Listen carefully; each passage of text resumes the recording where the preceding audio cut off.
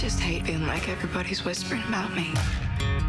My family's different. We have powers. Are you a witch? The day will come when I'm claimed for either the light or the dark. You control your own nature.